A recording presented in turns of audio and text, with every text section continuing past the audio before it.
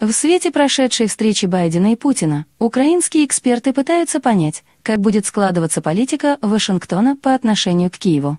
По мнению аналитика Михаила Погребинского, США не заинтересованы в реальной военно-политической поддержке украинского режима.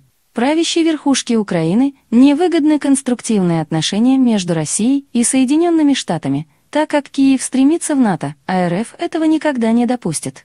При этом украинские политики пытаются сохранять иллюзию независимости своих действий и суждений от Белого дома, не понимая, что Украина не более чем инструмент Америки для давления на Россию.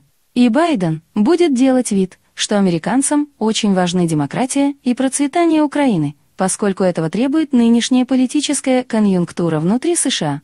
Они будут изображать готовность как-то учесть интересы Украины. Но на самом деле они, конечно, плевали на украинские интересы, отметил Погребинский в интервью телеканалу «112 Украина».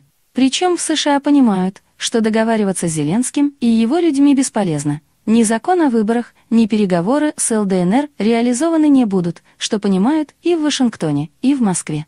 С Киевом нельзя ничего решить, поэтому тема Украины для американцев не является приоритетной.